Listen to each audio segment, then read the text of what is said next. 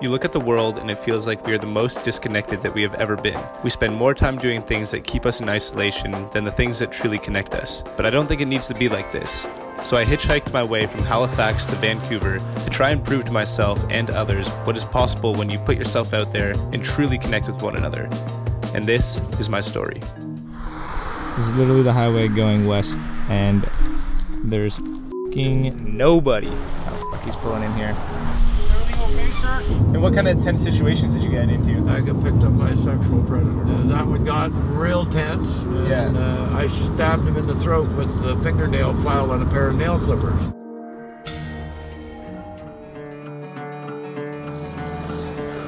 Currently about to hitchhike out of my hometown that I grew up in. It's a really weird feeling.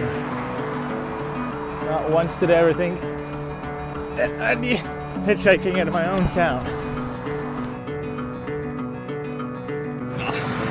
And what's your name, by the way? I'm Nathan. Nathan? Brad. Nice to meet you. Hitchhiking had this media attention back in the day, back when a few people in the States started deciding that's how they were going to be either killers or pick their kidnappees was picking them up. Media focused on it so hard for just such a period of time that like after that period of time it was taboo to hitchhike or be picked up. I'm really sad that the media did that to hitchhiking because I think it's an actually fairly good way to travel, especially if you're young. I love picking up hitchhikers. Like it's conversation. Oh, Other than this, I would have been so bored for the next hour. Like, Yeah, yeah. Have a good one. Have a good one. Later. Good luck. Thank you so much. Honestly, I think I'm getting more and more comfortable on the highway. Originally, like when I was in New Brunswick, holy f- I was super, super uncomfortable. And I was like, I don't think I'm gonna get a ride at all. But now, it seems like every time I get to that point, somebody always comes and picks me up, and it's usually somebody pretty cool. Dean? Dean? Brad. Nice to meet you, man. Nice to meet you. Have you ever uh, picked up a hitchhiker before? Uh, no, but I did hitchhike all through my childhood. Really, really? Yeah. Awesome. I was doing some busking on the street, up juggling fire and stuff. Ended up meeting this musician. Uh, yeah, he's like, yeah, come back to meet my brother and like my roommates and stuff. We'll eat dinner and then we're gonna go to this party. And we all pile into this van and we start driving out into the woods. And we're driving for like probably 45 minutes. It's like nothing. It's just trees. and me and my friend in a car full of like strangers. And I'm like, okay, I'm gonna it's- die, like I'm like, yeah, exactly. I'm like, what the hell's going on here? We come to this clearing, and there's like this huge cabin. It looks like a mansion Yeah. in the middle of the forest. There's people everywhere doing like fire poi and like hula hoops, juggling fire. There's a balcony on the second floor. There's like a live band playing. It was the craziest thing ever. Like Yeah. I ended up spending the entire summer there with my friend. Holy And uh, wow, I was probably 16 at the time. And I'm, Really? 20 I'm 28 now, and I still talk to those guys. Really? Yeah. Dean dropped me off in Toronto, and I made my way to my old house in Oakville to surprise my roommates.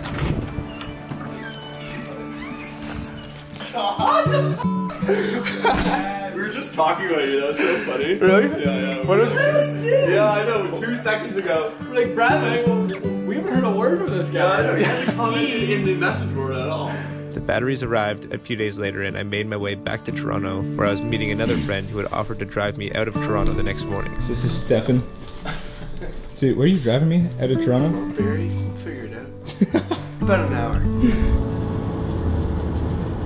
This is what I'm going to be looking at for the next three days. yeah. I, I think once you hit like the prairies, it's gonna be tough. It's just all flat, boring land. You're gonna have to find someone that is doing the same trip. It's gonna be tough. Make friends with that trucker, I, that's like actually a plan of mine. especially this guy like a bunkie in the back of his truck. you guys cuddle. it's like I've been lonely for a week. Thanks for the ride, dude. Have a good one. Let me know how it goes today. All right, later, dude.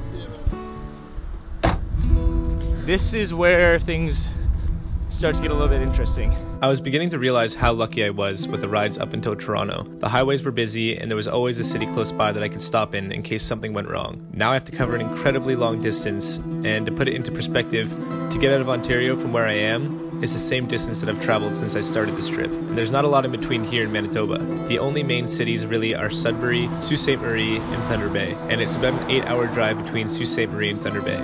That's a long way to get hitchhiking. It's getting really, really, really hot. This is gonna suck.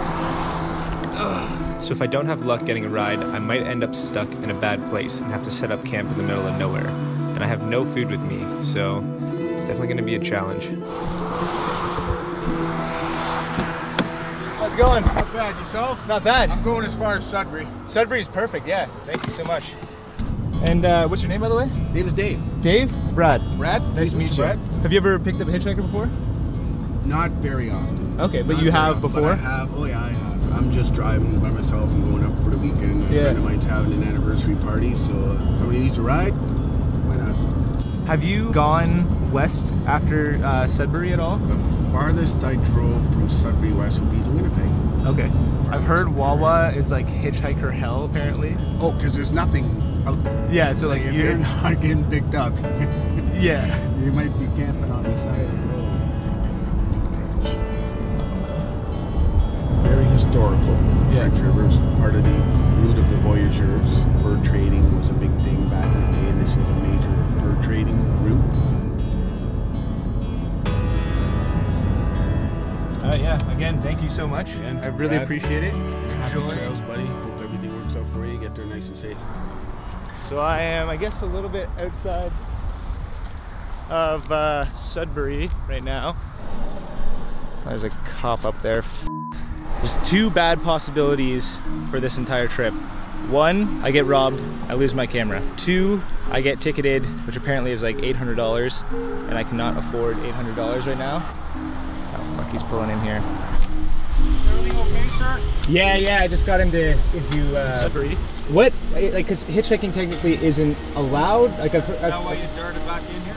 no, I'm kind of waiting for. There was a guy who was gonna give me a, a ride here, maybe in one of the trucks, but he's said no now. So, Yeah, you can't be on the highway soliciting a ride. Mm-hmm. because I have been on the highway doing it. Or I, Travel portion of the highway, so you can be on the side. You be safe, sir. okay, thank you very much. Oh, well, that was. Oh boy, I don't know what the travel part of the highway means. I wasn't 100% sure at the time if I would get in trouble for getting back on the highway, so I waited for him to drive away before I got back on the road. I had to walk about 20 minutes down the road until I found a spot where I thought it would be good for people to pull over. But there was one problem. This was the highway, and it was dead. This is actually starting to get a little bit concerning. The sun is starting to get lower. I don't know, I'll probably have to set up my hammock for the first time. I spent about an hour and a half waiting, and maybe 40 cars drove by. I had posted on my Instagram about my situation, and I got a message from a girl who happened to live nearby. She said she could come pick me up, and I could stay at her place. This girl happened to have saw my post in the same Facebook group that I met Aline from. I think this might be her.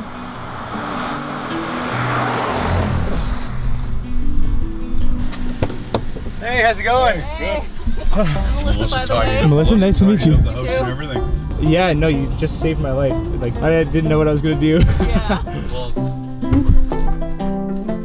This is your truck here. Yeah, that's, that's my home white home. So, Melissa here saved my life and came and pick me up on the highway, and their whole family just made me dinner, which is awesome. Thank you. You're welcome. I've been with Mark for 27 years now. Yeah. Okay. Half of those days in 27 years, Yeah, I have been alone.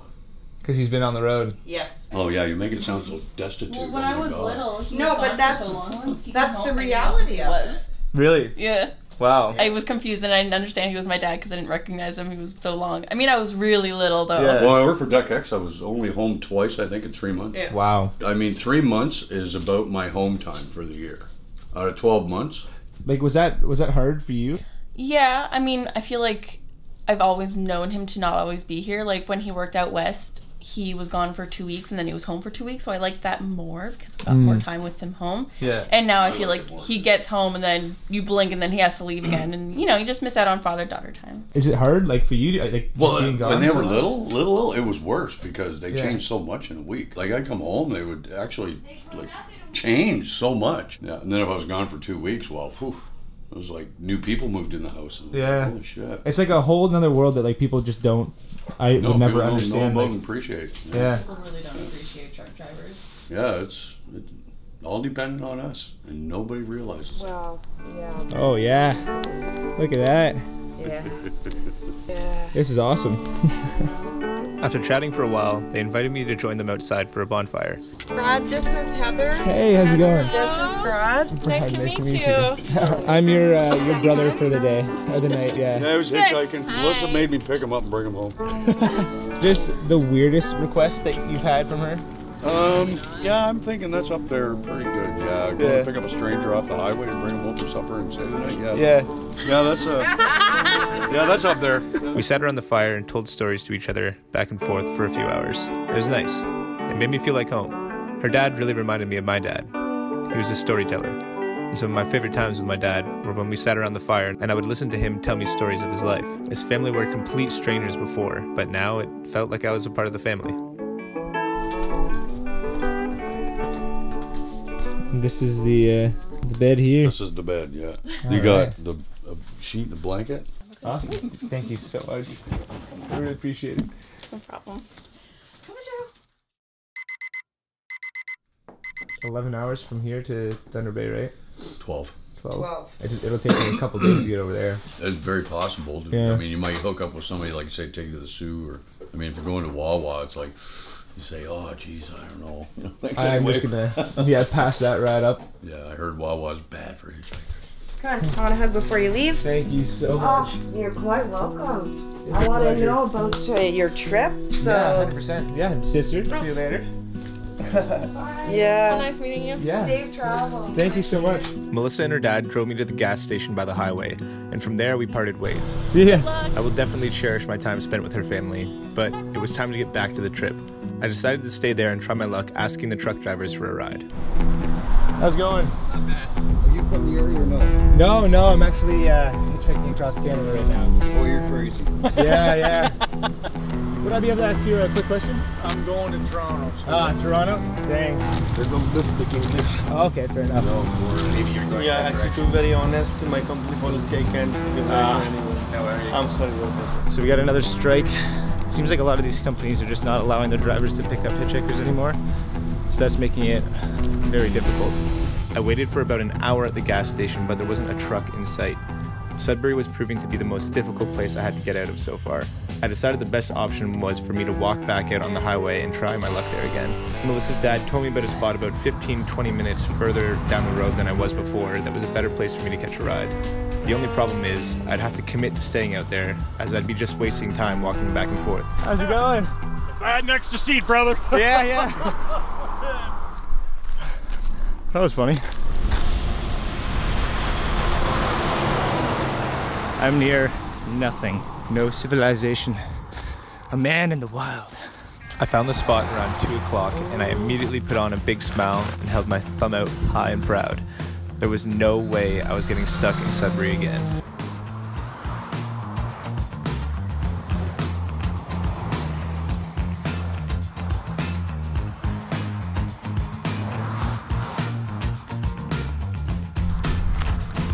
I am having absolutely no luck. It's hot as f- out here. I just want to get the f- out of Ontario.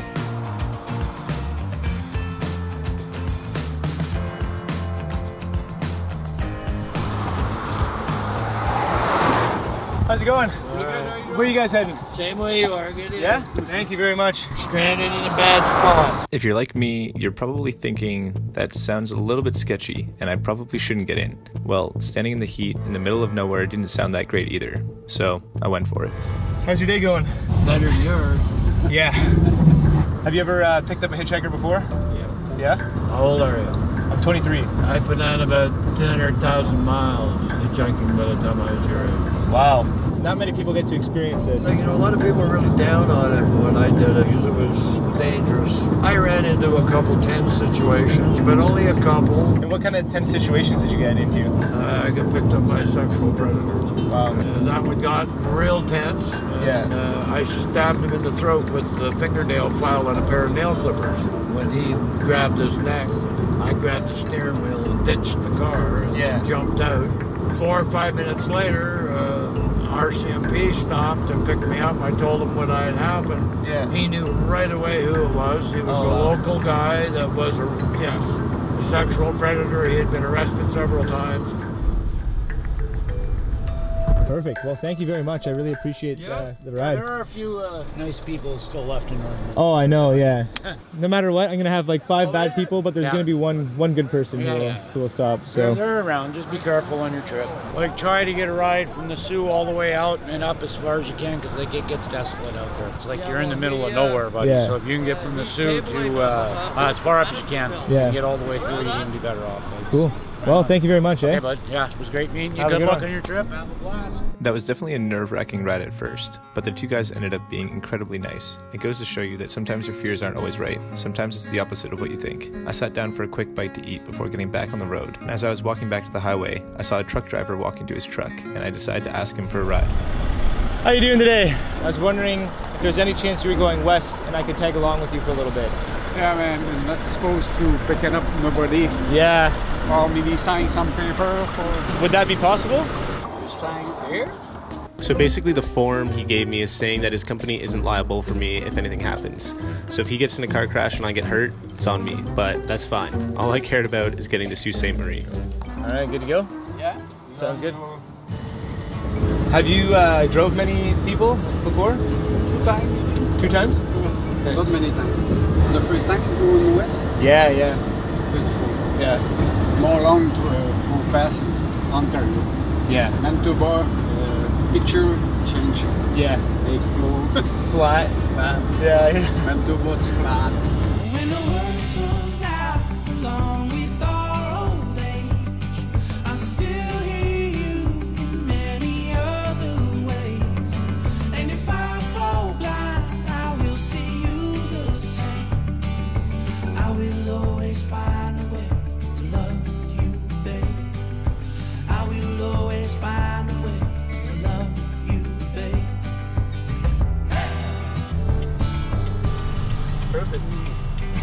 Thank you for the ride.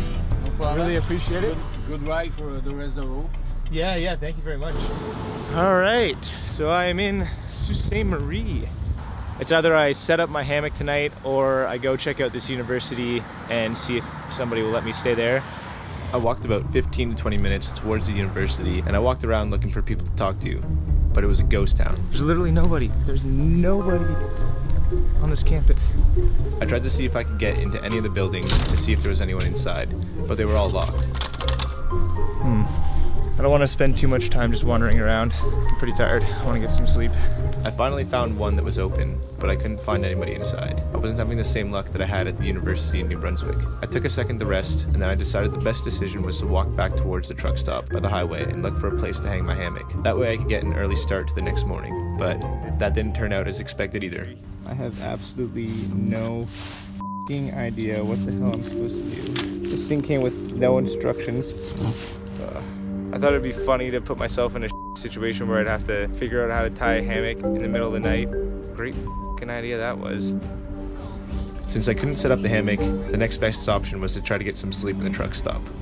I've been here for an hour and a half. I can't fall asleep because How I Met Your Mother is on repeat and it's extremely cold in here. Morale's getting like super, super low right now. It's 3.30 in the morning, but I've moved to a different truck stop that was across the street.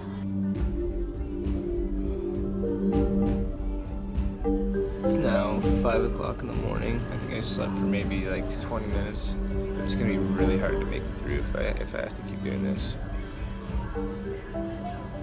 I wasn't gonna get any sleep, so I brushed my teeth, I watched the sunrise, and then I started asking truckers for a ride. Excuse me, sir. Are you uh, headed out west by any chance? No, you're heading, heading the opposite way? Ah, fair enough. But it seemed like my bad luck wasn't finished with me yet. Yeah, sorry about that, by the way. Well, that's fine. You just- We get, like I said, a lot of regular customers, and some of the guys are pretty good about it. Some of them get a little bit upset, and we don't allow any soliciting. We don't- Yeah, yeah, we I don't wouldn't wanna- sell tickets here. Fair but yeah, but you're welcome to use the facilities, whatever. Yeah, by all means. Well, thank you very much. Thank you. Appreciate it. The manager of the truck stop politely asked me to leave, so my only option was to get back on the road. I've been here since 6 in the morning, and it's been six hours. If I'm not getting a ride by now, I'm really getting scared actually. This is worrying me. I don't think I'm gonna get a ride.